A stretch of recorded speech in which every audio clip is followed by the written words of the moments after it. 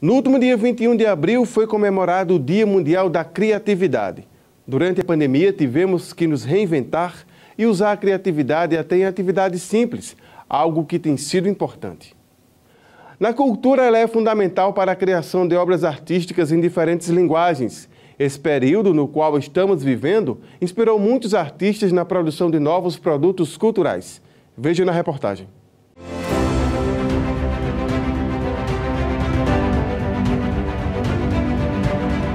Criatividade habilidade inerente ao ser humano para criar, inventar ou inovar, seja no campo artístico, científico ou em qualquer outra área.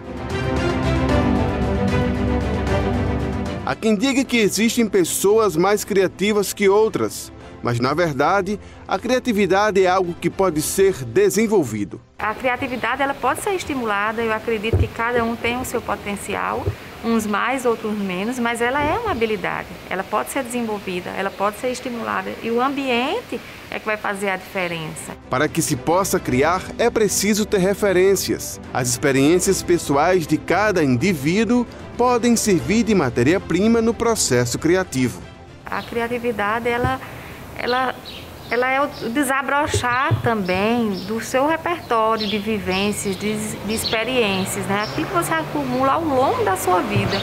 Então, por mais que aquilo que você sentiu, que você vivenciou, aquilo que você experimentou, as pessoas com quem você conversa, né, as histórias que você ouve. O período de isolamento social recomendado durante a pandemia fez com que as atividades de diferentes setores da sociedade tivessem que se reinventar. Para que isso acontecesse, foi preciso que a criatividade desse vez às incertezas trazidas pela Covid-19. E nessa época de, de, de pandemia, onde se, se ficou evidente o que você precisa se ressignificar e se readaptar, inclusive fazendo ser muito criativo. Então, atividades que eram inteiramente presenciais, elas precisaram se é, transformar-se no online. Nesse processo de atividades online, os artistas também encontraram na internet uma forma de divulgar sua produção. Isolados em casa por mais tempo, esse foi um período em que a criatividade foi estimulada e colocada em prática. Dançando sozinha eu vi você e ninguém. Eric Breno é ator e bailarino há mais de 20 anos. Longe dos palcos e das salas de ensaios, ele dedicou parte do seu tempo durante a pandemia na criação de alguns vídeos performances. Seu processo criativo envolve algumas questões. Geralmente, o meu processo de criação, eu parto muito dos conflitos como indivíduo, né? É, do que coisas, é, situações que me provocam e ficam guardadas, né? Na, na minha mente e, e, geralmente esses conflitos muito internalizados são, são intuitivamente expressados, né? E aí eu crio de forma mais poética possível. São em locais internos que acontecem a maioria das gravações os espaços são experimentados e levados em consideração para que se tornem cenários ou elementos cênicos para as performances. Eu experimento espaços, lugares que eu acho que podem me afetar, né?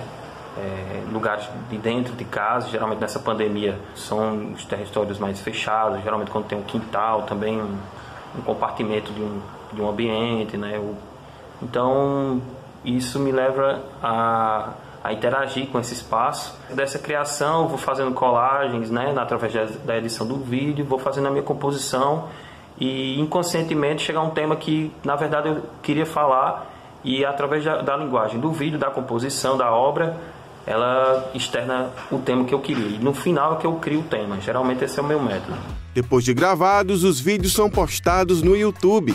Alguns deles são submetidos a editais de cultura o que tem suprido a ausência de cachê nesse período em que as atividades culturais estão suspensas. Com os vídeos produzidos, né, é, junto tem um vídeo também que eu fiz junto com Edgar Palmeira, né, que fez a edição de um vídeo que eu, que eu gravei, ele editou, que se chama Trajes de Contas. A gente tenta vários editais que vai saindo, né, editais para quem está produzindo em casa, né, que é por causa da pandemia, né.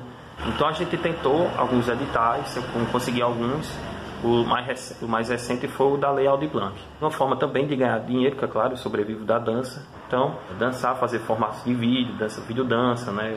Vídeo performance, foi a nossa, o nosso ganha-pão. O cuscuz, o cuscuz, essa massa amarela, suculenta, farofenta, o cuscuz. Sueli Maria é atriz e idealizadora do projeto Pano de Cuscuz. Ela trabalha com teatro, contação de histórias e palhaçaria. É em casa que ela tem trabalhado nos últimos meses. Suelen concilia o trabalho nas artes cênicas com a maternidade, um dos desafios enfrentados por ela no momento da criação. Às vezes, no processo de criação, a gente precisa de dedicação, foco, silêncio. E às vezes a criança não consegue é, acompanhar isso, né? Então, saber fazer a junção disso com a junção do processo de criação. Trazer os dois para um só núcleo, né? Isso foi muito desafiador. A segunda coisa é não estar em sala, numa sala de ensaio, né? Eu não estou numa sala de ensaio, eu estou numa sala de estar da casa da minha mãe, né? Então não dá para necessariamente estar treinando, estar tá criando do jeito que a gente imagina. Então tem que imaginar de outra forma.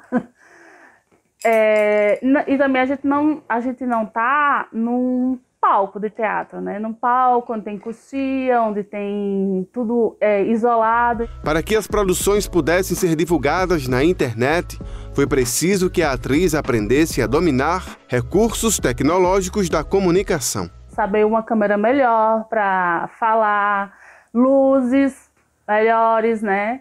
É, a forma que a luz entra, a forma que a luz vai bater no seu rosto, enfim, tudo isso eu tive que aprender também nesse processo, né?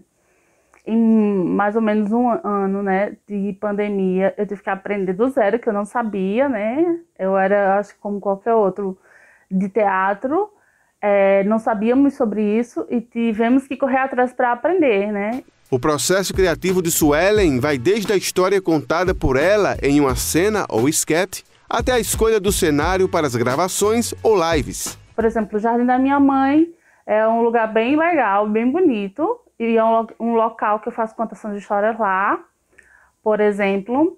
É, aqui é um lugar que eu acho legal de conversar, de falar, porque dá a ideia de humanização, de que eu estou junto com vocês. E trazer a minha filha também para dentro desse processo, né? A criatividade tem sido a grande parceira dos artistas nesses tempos difíceis de pandemia.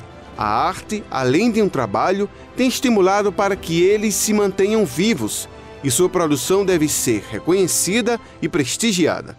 Apesar de acharem que a gente nesse, é, nessa pandemia teve tempo livre, não teve tempo livre, porque precisava, precisávamos né, nos, nos sustentar, comer, pagar aluguel, pagar leite da, da criança, né?